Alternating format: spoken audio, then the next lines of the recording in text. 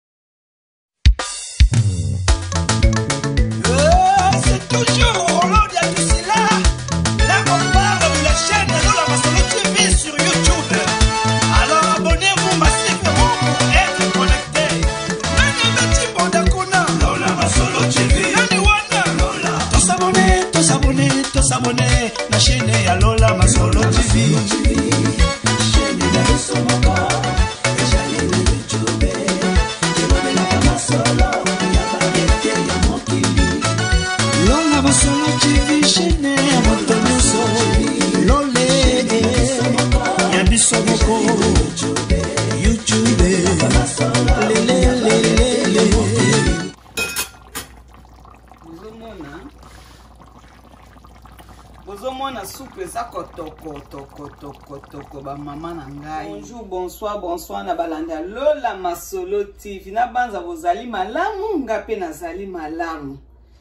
napesi merci na yawe nzambe na lola ye nde aza mobateli na biso na nyonso yango ya yambo ye nde nakozongisa matondo liboso na ye mpo nayebisa bino mpo na elubu oyo ya mokolo ya lelo natalisa bino naza na elubu na ngai lelo ya ngolo ya ngolo nalingi nalakisa bino balanda lola masolo tv nga mama na bino eveline ya na bino ndeko na bino kulutu na bino bana na ngai nazolakisa bino elubu ya ngolo toza ebele ebele bamonaka ngolo tozolia yango me baplace mosusu mingi bayebaka te mpona kolongola basalite na yango koyeba place nini salite efandaka na ngolo na bambanga na yango ebele bayebaka ata kolongolaka banini na bango ezalaka na kingo wana esili akatikati alambi na ye azoyeba te nde na kosala boye na kosala boye mpo nayebi ebele nde baza bongo ngolo baliaka balingaka kolia ngolo ya supu te me ngai nalambaka ngolo ya supu soki olia yango okokata misapi okata misapi yango lelo nayenga mama eveli naye kolakisa bino elambeli ya ngolo ya supu ndenge balambaka bamama bandeko bozomona ngolo yango oyo ezalaki ya mobimba na kati yango bitene bitene eza mpe na makila na kati bozomona yango oyo makila eza na kati na moment oyo ndenge eza nalingi nasukola yango mpena nazwa soin yango bokomona ndenge bangulutaka ngolo ndenge bakotaka na kati mpo bimisa basalite na yango na bazei na yango ozwa moya ya kolamba balanda lola masolo na ntango oyo sikoyo nabandi sikoyo nasukola ngolono na ngai mpo nalamba ya liboso nakangi nao kitambala na nga talaka suka epumbwapumbwaka e eh, okota na biloko mingi omona bazalaka mpo na kolia omona yango eza mabe atanga mo mpe naokoka kolia lisusu te so namoni suki na kati ya biloko yango mpenza ya liboso mwasi nyonso soki ozolamba zwa kitambala na yo kanga ata na barestaurant ezalaka bongo okangi kitambala na te eloko moko oza nango otie okoma olamba mpo toyebi te suki aire moko esotasotaka nango omona mamosu esi ekotaki nango na kati ya njungu mamosu na kati ya misuni oyebi na yo te yango na ntango oyo nalingi nasukola elubu na ngai ya ngolo Eh, bandeko na ngai bolanda sikoyo mama eveline alinga alakisa bino nde bana bango bozolanda sikoyo nafungoli mai na nga moto yango oyo ali natie mwa natie mwa ezala mwa mwa chel ekozala moto te mpo ekolembisa mbisi mbisi ekoma pete talaka misu bozolanda ata makila ndenge ezolo ozolamba misuni misuni eza makila na makila moto akozala na kolanda bandeko na ngai yango oyo sikoyo atya sikoyo mamamwa ozolanda nafungoli sikoyo mwa mpo mwa ya malili ekotaki ebele na nafungoli mwa mwa ya moto yango oyo nakomi kolongola sikoyo mpo ngai nalingaka biloko ya kati ya salite wana te nasepelaka nango te okolamba misuni na biloko ya kati ana moto eta makila na kati ozolanda eza te kaka nasukola ye kaka misuni otie fo kolakisaka motu ndenge ozosala mpenza mpo eza bozomona ngolo ndenge ezalaka salite nango ozolata banini na nga oyo ezalaka na thomson bomoni yango oyo tie awa oyo mpe yango oyo mpe nazwi oyo omona bamisusu omona alami ngolo na bapwale na yango nyonso tu oyo emelisaka fufu te fo kolongola yango bozomona bandeko na ngai omoi ndenge natiki yango ebimi soin ondima te hmm. oyo mpe yango oyo mpe na kati yango yango yango oyo mpe wapi na kokende lisusu esili otya yango lisusu na, na, na mai ya mai ya citron eh? mpe esala mwa bien nazwi lisusu oyo nazokata pona kotika yango basala na yango boye te fo nalongola yango mpo esala bien hmm. natie na basin mosusu e eh, mama eveline mpo bamisusu omona batikala na bango baoyo atiki na ye yango me ngai nalongola yango mpenza nalinga yango te eza kaka nde tolongolaka na thomson te eza kaka meme chose yango oyo natie awa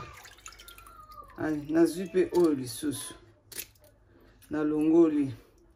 apres sikoyo nazwi mpe mopanjo nalongoli yango oyo yango oyo awa omoni nazwi oyo na kati nazwi oyo na kati yango etikali ngolo na ngai yango oyo nazwi lisusu oyo na kati nazwi yango awa mopanzi na yango basala na yango oyo fo naraza yango yango oyo na kati yango yango mpe mopanzi na yango mpe oyo naza ya kokata ye basalaka kaka bandeko na ngai soki fo natya yango mwa pota ere ozolamba ekota baepisi ntina kati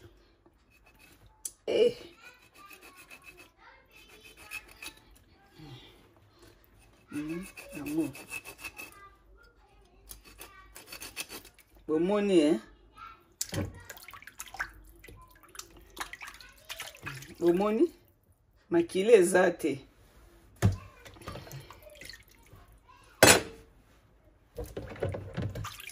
nazwi lisusu oyo bozolanda balanda lola masolo bayekola kaka bamama na ngai bandeko ya lola masolo mama soki naosala boye mpo na koyede ma mosusu bana na biso bajeune fille eza mpe na bandeko mosusu mpe bamama mosusu omona alingana ne ngolo ya kotumba ya kolamba me aoyeba te nakosalela yango ndenge nini yango wana nga mpe nazolakisa bino omona ma mosusu osala ata mwa ngolo na supu boye olie eza te kaka olia kaka liboke liboke liboke liboke boso ozwi mopaya na ndako obanda olambele kaka liboke sikoyo tokomi awa na mutu mutu nango nde moto ezalaka surtout yango ezalaka problème motu ya ngolo moni baoyo bansala nango oyo oyo nyonso fo kokata yango ozwi oyo okati yango na sizo meza makasi e ako mpe ngola yango mpe ekomela mama mawe hmm, makasi e ngolo oyo e, hmm. hmm. mpo na kopanza ye kutu ndenge eza wana ozolanda mm. ozolanda balanda lola masolo botala nga ndeko na bino nde naosala ngolo ale tokomi sikoyo na operation na yango sikoyo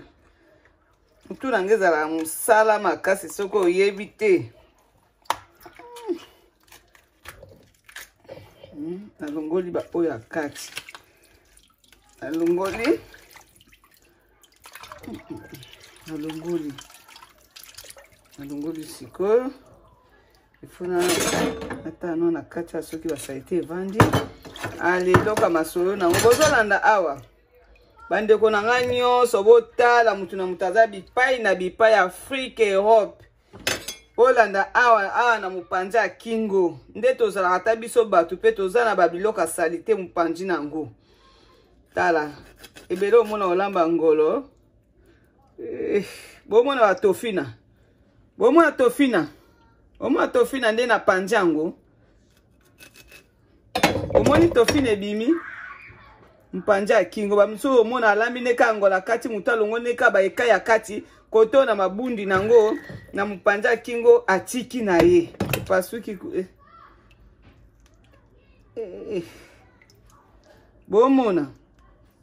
mwa basalite evandaka mopanzi bamama tolambaka kaka ngolo kaka tika tolamba basalite ezalaka na ngolo soki oyebi kosala yango te mama okolia ngolo te hmm? okolia ngolo te na kati ya mbanga na, na kati ya mipanza ya kingo wana tozanga yango te bomoni su mopanzi oyo yanga wana na opasola eza te kaka opasoli ka mopanzi moko mpo obi mopanzi wana kaka nde yango moto eza sali te hmm? boolanda nga tala oyo sikoyo naoninga nabimisa yango mobimba me ah. hmm. bomoni bamama ta ndenge avandi akundami mpenza na kati mpo oyeba yango eza mpasi hmm? po ye bango eza pasi ta ndenge ekundami ekundami mopanzaki yo wana ozofiba nalingaka motu ya ngolo me ozolia salite na kati ya ngolo wana makili esi elala na kati tala ta ndenge naobimisa yango ta ta ndenge ekangamaki na, na, na, na kingo bomona bomona oyo oyo mpenza ofiba yango e eh? ozolia makila me yo olobi ote supu motu kitoko me oyebi ta esika ebimi ekangamaki na mosuni place moko bomona mingi bayebi te amonaka kaka nalingaka moto ya ngolo yango omoni ngolo fo koyeba kosala yango malamu bandeko na ngai fo koyeba kosala malamu bamama bandeko nalakisaki bino motu ya liboso omoni deuxième motu bomoni ndenge efandi mwendo evandi mopanzi ekangami na mosuni soki oyebi yango te olongola na yoka bambanga na yango ya kati kuna ale otiki na yoka bamopanzi oyo omoni ta yango tani ekangami na njoto eh? oyo deuxième motu deuxième motu yango ekangami na njoto so oyebi yango te okoloba kaka nyonso kaka nalamba kaka te ozolamba na makila ya njoto ozofiba ozofiba na makila toke lisusu mopanzi oyo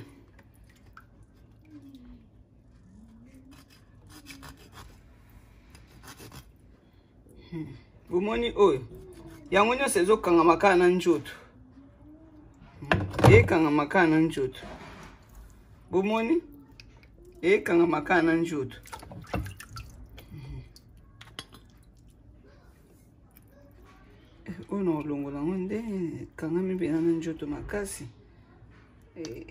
basuki eh, na kopasuka na pasoli yango mpe ekangamaki na njoto makasi yango nga motu napanzaka motu mpenza ata opanzi sikoyo mpo oyeba esika nini oyo evandaka ata oyo nde ekangami na njoto oyo omoni mpo nalongola yango evandaka mpenza na nzoto mpenza hmm. omona yo ozomonaka na ofiba motu nalingaka motu me ozolia na makila hmm.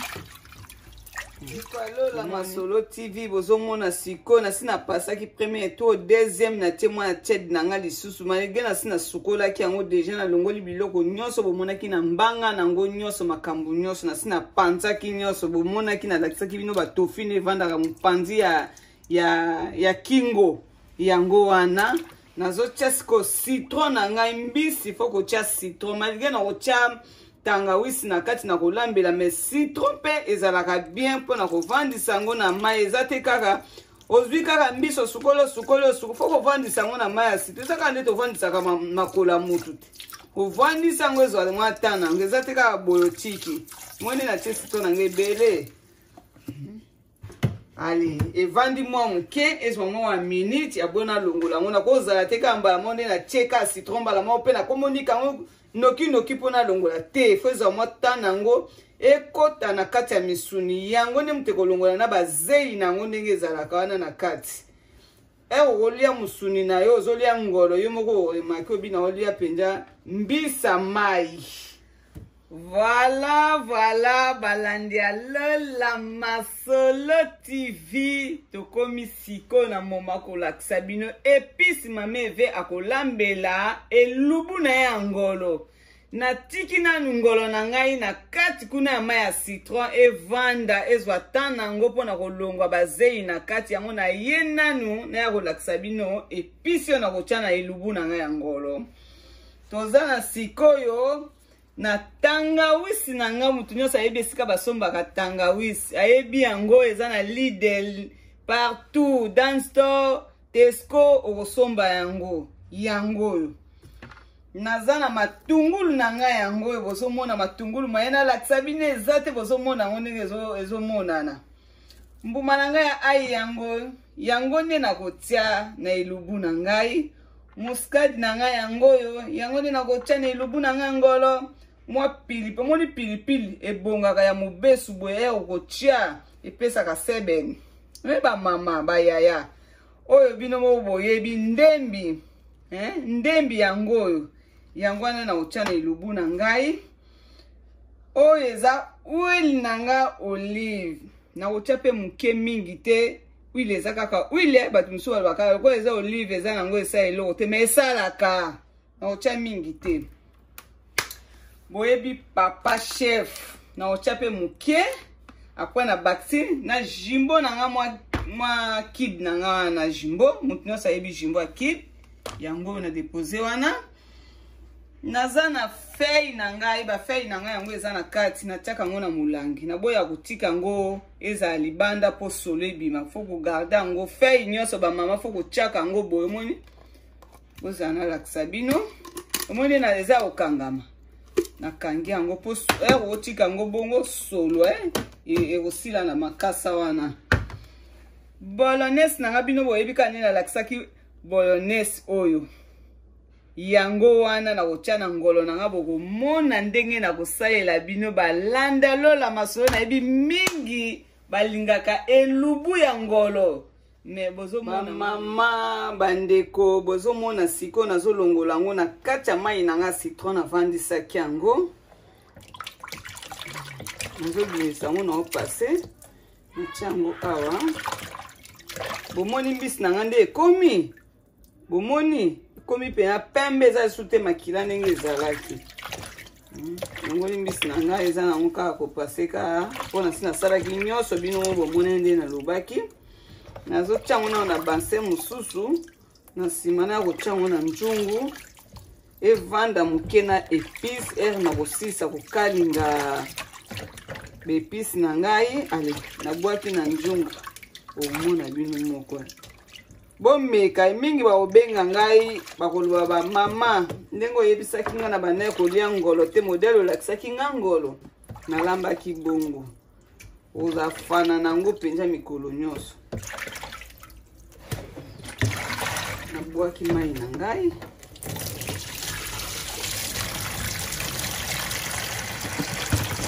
base lisusu mpo nalongolaka mai wana salite na sikre lisusu bomoni mai nde ekomi soin mai na nga ekomi soin bozomona hmm. natya yango na bassin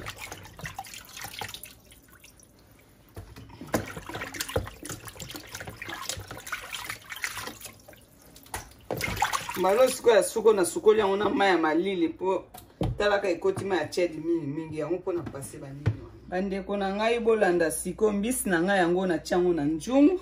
sikoyo ndenge natya baepice na bomona epice na nga eza te baepice oyo ngai kaka nde nayebisaki bino bamama eza te oyo ya molangi oyo eza ya fresh tangawisi na ngai nasi nasalaki yango na muscade na ngai nasi nasalaki yango yango nazotya yango sikoyo evanda na kati ya mbisi na ngai ya ngolo elubu ntango na kokalinga baepisi mosusu matungulu ndembi ai na bolognese na nga aprale na ye kobwaka ko na nini wana taka mbisi mbisi ezalaka pete bomona mbisi ezalaka pete eza te ozwi mbisi na biloko tomati ebeli te ozwi na mbisi na biloko nyonso ale osangisi omona mamosusu tomati kuna esi esilaki ngai te yo kote oyo mbisi kote oyo ese ese ese eza nanu fo kobelisa mpo mbisi ya bato ezalaka nango mpasi te tomati fo kobelisa nao tomati nanu yango nazo mixe yango nazo mix ni na ngai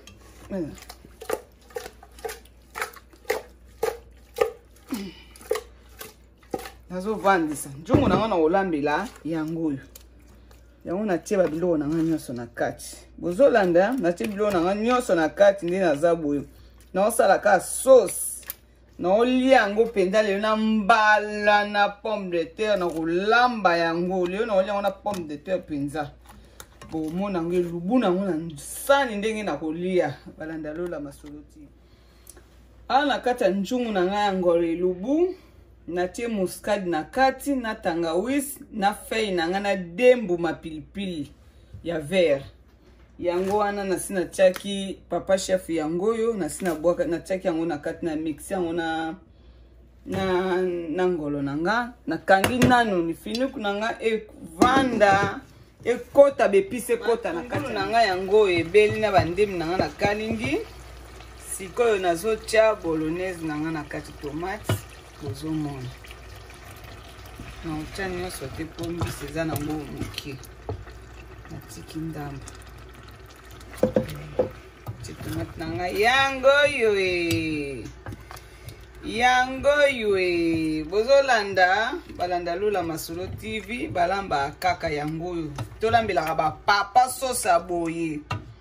sosa boya ngolo ere azolia azoyoka mpenja gout alobi te mama wana okomanda yango pamba pamba bisalela yanga ere nyonso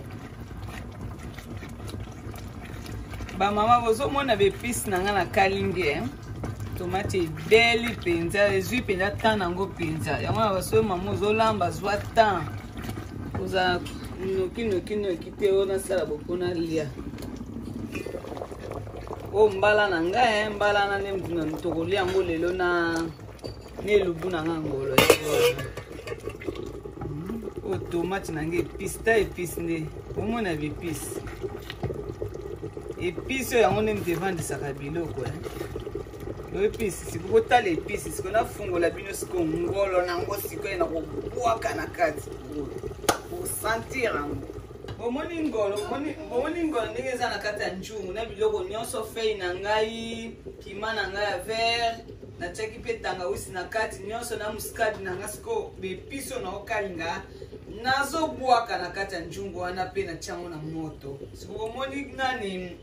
mesure ya epice na nga na na ngolo na nga yango wana babongaka epice mpe ekotaka mingi na biloko yango moto evandisaka biloko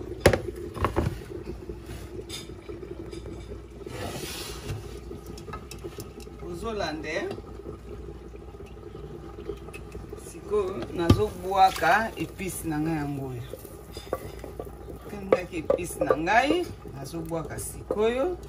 mpo nazwa sikoyo mai natya na kati ya nzungu na ngai ya elubu na ngai ngolo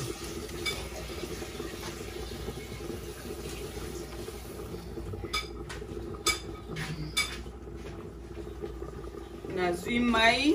nazotya na njungu omoni mai na ngai yango oyo yango oyo e, mai ekoti siko omoni ekotoka hmm, mama moto nyonso akozalaka na mposa mpo alia yango e omoni e eh? episi na ngai yango oyo natie nazozela soki etoka etoka mwa mokie bon nalia moni omoni bepise na ngai nde natie ere na ekobela ale ozomona bozomona supu eza kotokotokotokotoko bamama na ngai bozolanda bozomona ngolo ndenge evandi ezotokotokotoko na kati ya njungu kwa yango wana elubu ya ngolo yango wana ntango nakolia yango na mbala e eh, nakotia yango na sani bokomona nde naolia bandeko alola masolo biloko yango ngolo na ngai elubu esebeli yango wana bozomona yango na sani ndenge evandi tolingi tolia yango sikoyo nga asi naliaki yango na mbala me bamisusu baolia yango na fufu kua bozomona ndenge ezongala ezo na supu oyo oh, supu oyo oh, eza supu ya baministre naomona oyo basu mpo bayambelaka bato ya pwa batapa apamba te yango oyo bandeko ya lola masolo merci na bino nyonso baoyo nyonso bamea kolanda elubu oyo ya lola masolo bosabone bato epai na bipai na bipai europe mobimba mpe afrike nasepelaka na bino makasi baoyo nyonso to balandaka lola masolo tv merci na bino nyonso napesi mbote na bandeko nyonso balandaka lola masolo tv Pe mbote na mama Diaconesse Paulina. Mwasa bata disciple Romain napesi ba mbote ebele pe mama Diaconesse Baku ya na nga moko zala kaka wana napesi ba mbote ebele pe napesi falon na kati ya paris mwasi aleki na nga kwa napesi oyo babizu ya trop bozala malamu mpe merci na bandeko nyonso tosuki ka wana olala olala olala ce grave boutique d'abima charlie lubulu d'istanbul bandeko bino moko bozomona misu na bino temoin tala biloko ya kitoko bashemise ya bien bien bien makasi mpo na bapapa mama na ngai mm, tala biloko ya kitoko bamama boza wapi bateni ya malunga ya valeur na baseur oyo balula molato batantini ya kilo basere ya poi tala bilamba ndenge ezokolengalenga bandeko bobenga charli lubulu ye oyo papa na biso asungi biso makasi tala barobe ya mariage ya valeur mama e mama e biloko ya kitoko basoire ya kilo mm, abenwe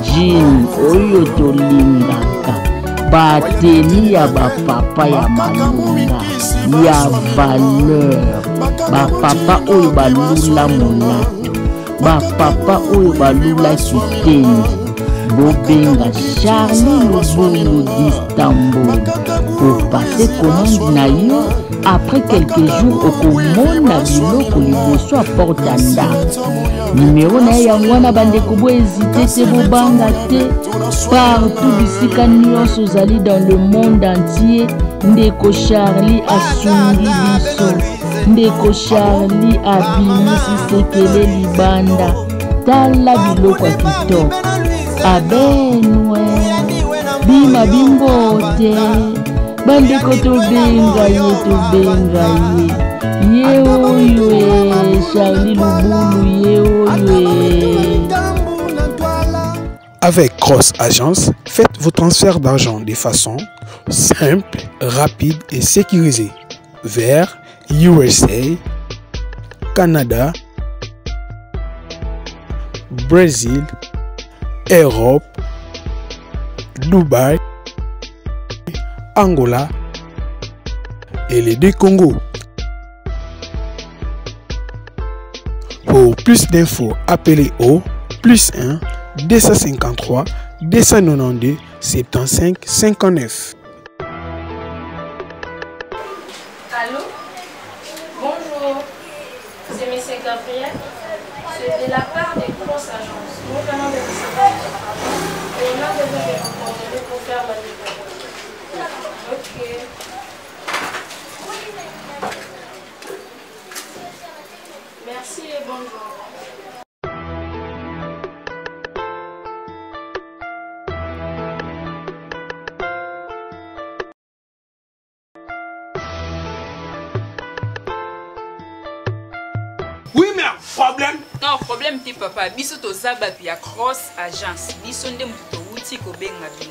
obengi nga ka siko pas même 5 minutes osi avion toni non non grosse agence c'est la rapidité l'honnêteté la sincérité et l'efficacité ah bon grosse agence eye kotikela yo mbongo na yo papa okoki kosigne nakosigne efo nalata elamba grosse agence Avec Cross Agence, faites vos transferts d'argent de façon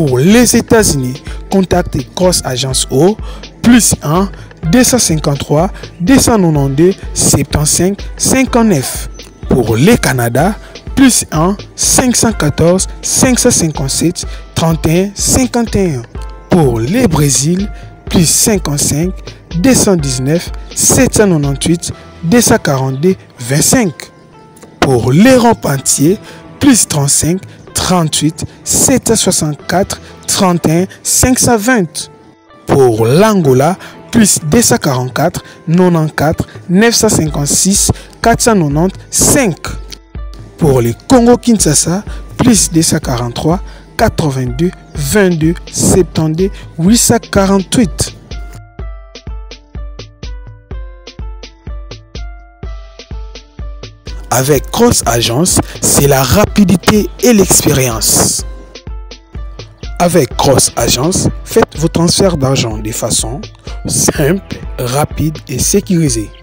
avec Cross Agence. Pour plus d'infos, appelez au